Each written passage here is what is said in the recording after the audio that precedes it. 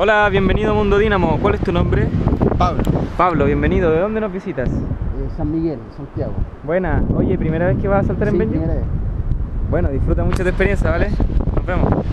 Espera, Vamos. Uno. Uno, dos, tres. Dale, salta. Eso.